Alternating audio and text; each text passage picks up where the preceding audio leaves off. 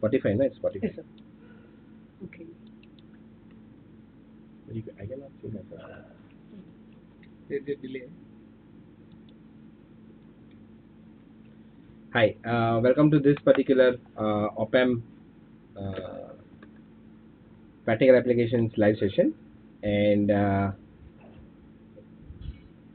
if you have any questions, uh, do ask me. I'll try to answer with best of my ability. Uh, I have with me uh, uh, Sitaram Gupta as well. Uh,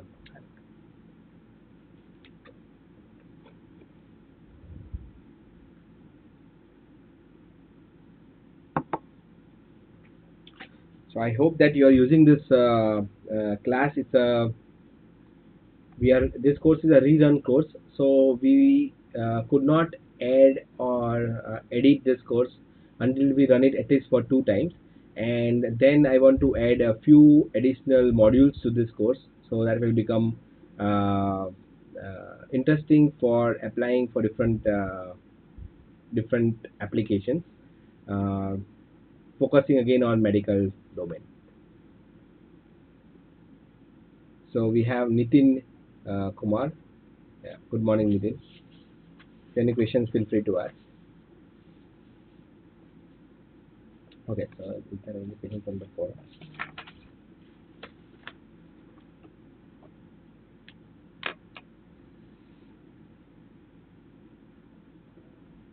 Okay, so let's start with the first one, uh, which is asked by VG, uh, VG is a faculty, and the question is when an amplifier acts as an oscillator, the amplifier in the oscillator circuit will work as amplifier or not. Does the amplifier which is having negative feedback circuit have a chance to go to oscillation state even if it is having positive feedback? Okay. So uh, uh, basically, when you talk about um, uh, the oscillator, there are passive oscillators, right? Active. Are you using op amps or not? Do you really want to use op amp? Now, I, I may be just asking you a question, right? But uh, if you talk about oscillators, then basically for oscillator to work uh, as an oscillator or circuit to work as an oscillator, you have to clear the Barkhausen criteria. Barkhausen criteria says that the uh, the phase uh, should be 0 degree or 360 degree, uh, while the uh, mode of uh, gain and feedback should be equal to or greater than equal to 1, right?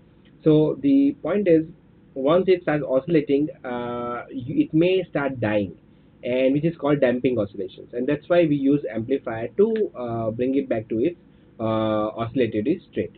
Uh, at the same time, uh, oscillators only work or circuit only works the oscillator when we use positive feedback.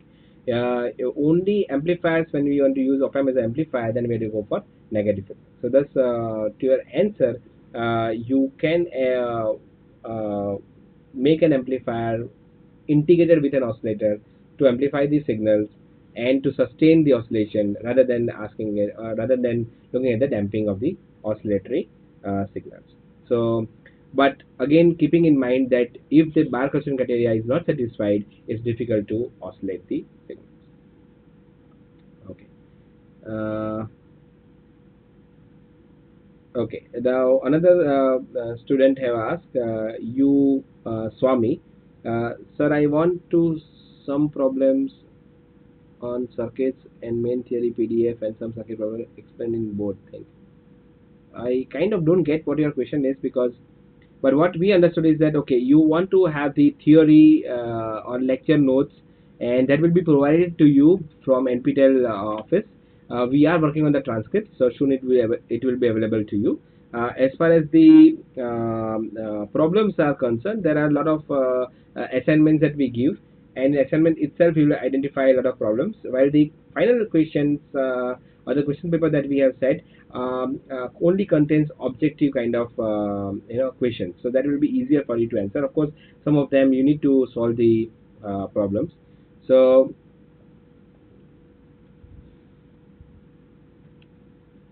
Sure. Uh, uh, A. Pavan Kumar says that while while you explain the concepts, please please provide some pictures that is easy to understand.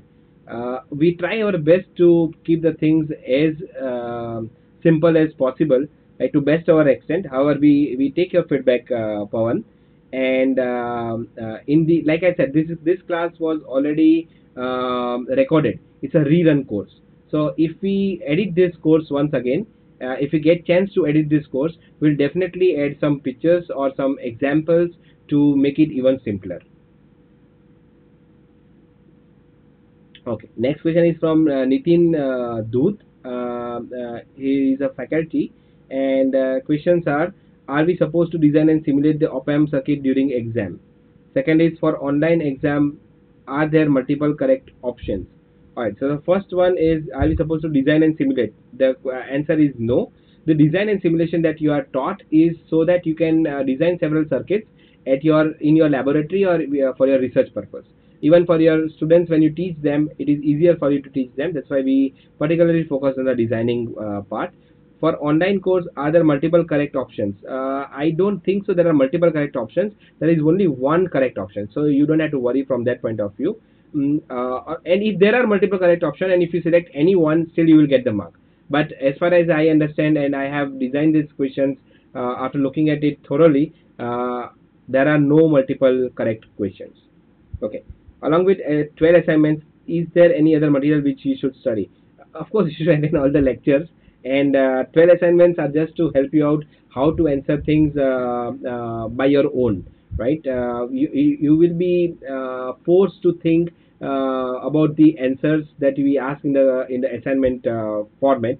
And it will be useful for you to understand the course in depth and thus also to score well in your final exam are electronic calculator allowed during exam. Uh, i don't think so. This is not allowed. Uh, after examination can we get solution of the questions asked in the exam? Uh, yes i think so. Uh, it is it is generally available. Uh, uh, the this is our experience but you the the best person to answer this thing will be nptel madras iit madras office.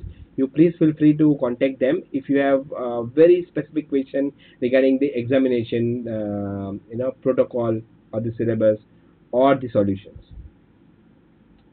Okay next one is uh, from Sai uh, Kiran Kumar.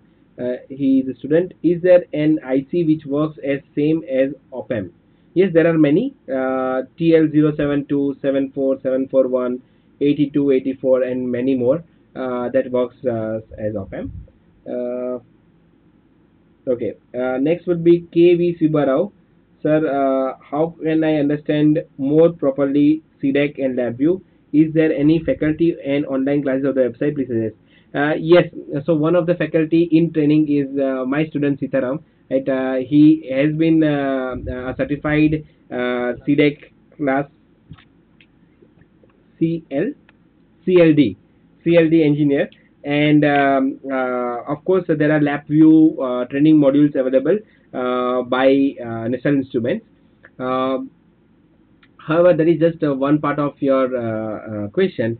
I feel that if you uh, what we can do is if you ask this same question in a forum we'll find you a link so that you can just all of you not why only you all of you can just look at the link and get more details about the uh, CDAC and LabVIEW program alright another question is from Dr. Prabhakar uh, Khandait uh, question uh, he is a faculty and it's how to prepare for examination.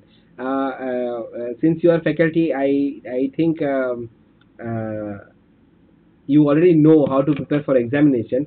However if you ask my opinion it's just like if you attend all the lectures if you if you prepare for assignments automatically your concepts will be clear. We ask very simple questions in the uh, exam. If you have appeared for any of my previous examinations and uh, the question sets are very simple but uh, which requires you to think about it. Uh, it it is a mixture of uh, lectures uh, that we take. Uh, some questions are that you have to think about it. Um, so i believe that if you just look at the course lecture notes as well as the recorded videos that will be enough and you do correct assignments that will be enough for you to score well in the examination. Swapna uh, who is a faculty again uh, uh, is asking us that I failed to pay exam fee. Now I want to write the exam. Please tell me how can I pay fee to write the exam? Again I, I the fees doesn't come to uh, uh, to me or any faculty okay? Uh, it is handled by IIT Madras. And that's why I again request you to ask or send an email to IIT Madras NPTEL office uh, they are very very supportive. Uh, they will help you uh, to with the with the best of their abilities. So uh, feel free to ask uh, and uh, send an email to them. If you don't get a reply after let's say two or three days because there's huge load on that office as well uh, then you uh, contact me and then I can just uh, look around okay?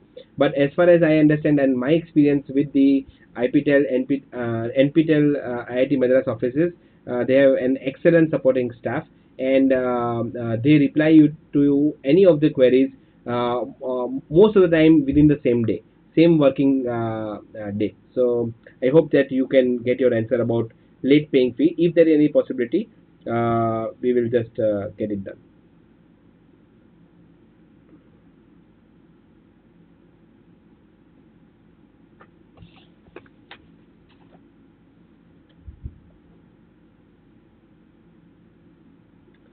Uh, KV Subbarao, uh, is a faculty, is asking, sir, in the 12th week lectures, you introduced data acquisition LabVIEW. According to my understanding, these are used for building control system. Is there a suitable area of research doing research? Please suggest that related areas. Yes, sure.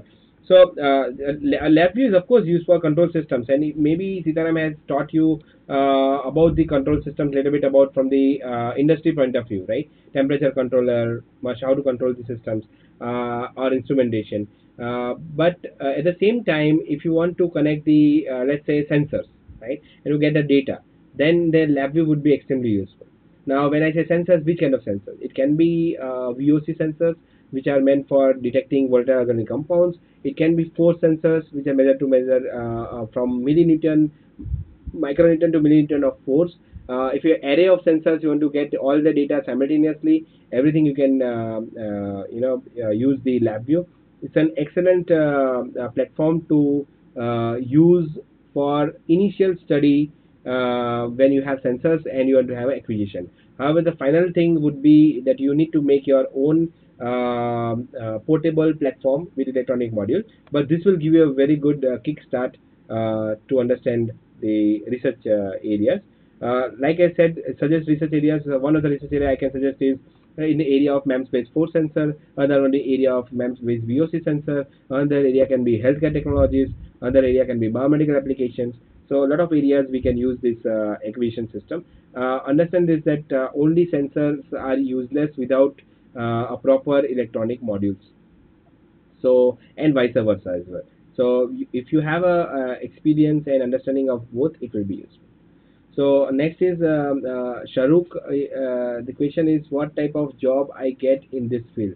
Uh, I, I I think I am not a right person to answer uh, this question. However, let me uh, put based on my experience, uh, the the student who uh, uh, goes through this particular type of course along with other courses, generally uh, they are hired by NI. Uh, they are also hired by TI. Um, uh, uh, and then many more um, uh, electronic uh, industries.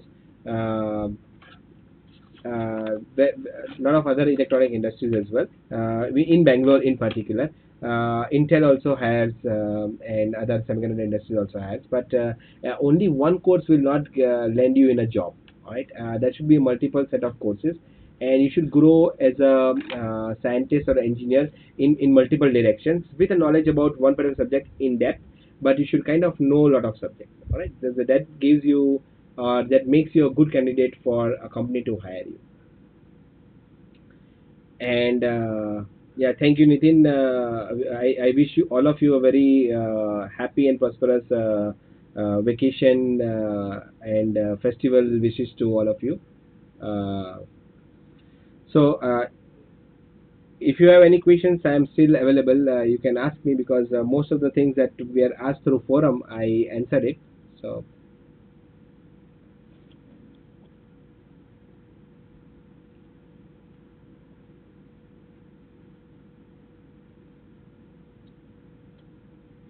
So only thing that I will uh, be, you know, uh, giving as a feedback is uh, concentrate on your assignments, right? Um uh, concentrate on the importance of the understanding of this particular course, and automatically try to uh, interlink this course with some other uh, courses, so that you can come up with a, uh interesting solutions. Uh, uh, if you are into the research field, uh, this course will be extremely useful when you want to integrate your sensors or transducers um, uh, with this particular circuit. Uh, we have a separate course. Uh, yeah. So, for example, Saruk is asking what courses that are to be learned along with this course. So, we have another course called sensors and actuators. If you take that course, then you will understand how we can fabricate sensors and actuators, and then you can use this course and integrate that course along with this to make a complete system. So that's one as the example, quick example. There's another course, uh, MEMS-based sensors from clinical perspective. We have taken another set of uh, sensors over there, and we have taught how can you design different uh, devices for medical perspective. When you make a device, like say ECG, uh, EEG, and a lot of other, you know, data acquisition systems, you have to rely on the uh, signal acquisition, and that that's how this course will be extremely useful for you.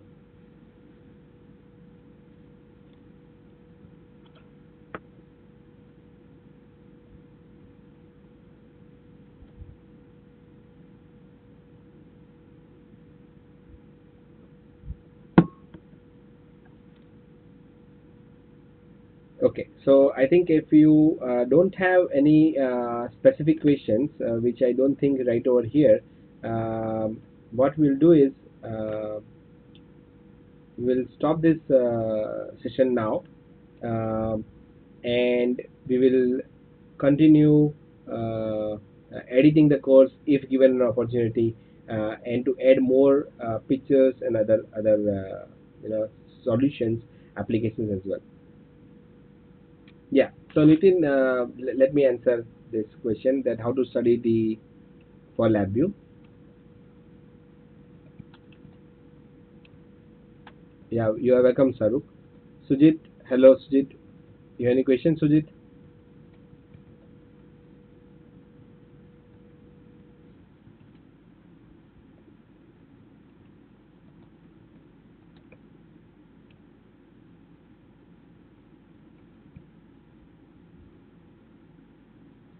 Yeah, so to, to be very simple uh, in your answer, Sujit, uh, the resistance uh, generally we measure when it is a DC uh, uh, uh, circuit, while the impedance we measure when, when there is a AC. Let me now give you a little bit in depth.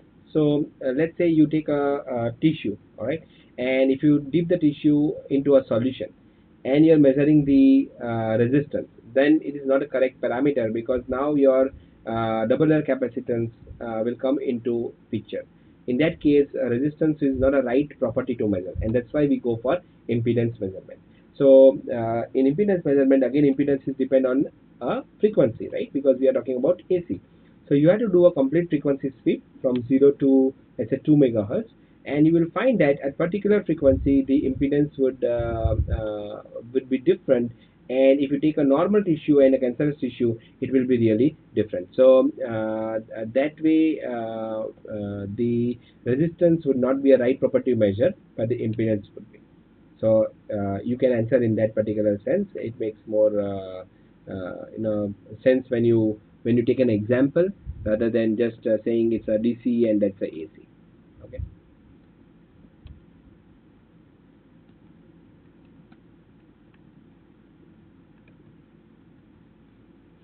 so as you can see that you know there are youtube videos there are there's a book uh, op-amp for everyone right? Uh, if you just go through this one it will be easier. For total 75 max exam how many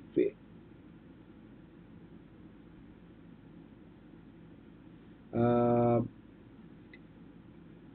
is it for total 75 max exam how many um, mcqs to face? Uh, i i don't remember how many you should but i think uh, 50 50 is what uh, we we kind of design. So but, but it's it's very easy nitin. Don't, don't worry about uh, uh, you know mcqs uh, you will you will do well. It's it's not so difficult exam to pass. Okay uh, so sir if i am going to guide projects based on our course for students can i get help from you?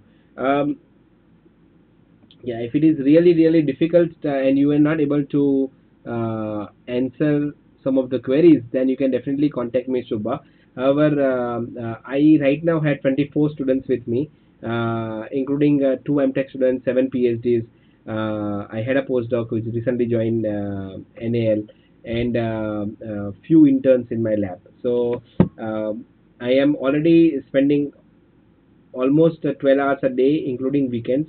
So uh, if you have really really difficult questions uh, and you are stuck, then you can uh, take help from me. Um uh, however, uh, uh, if it is very trivial, then I feel that you are you can guide by yourself. But if it is difficult, sure, do contact me.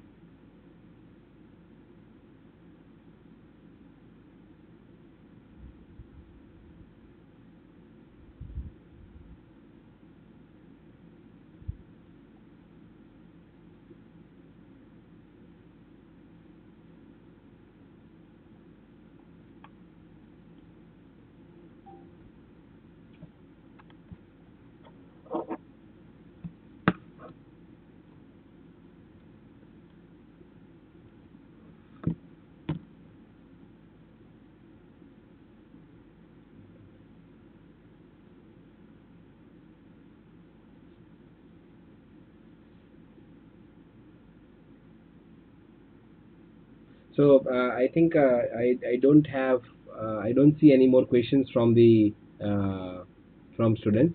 So let us finish this live session right now, and I, I wish you all the best for your exams.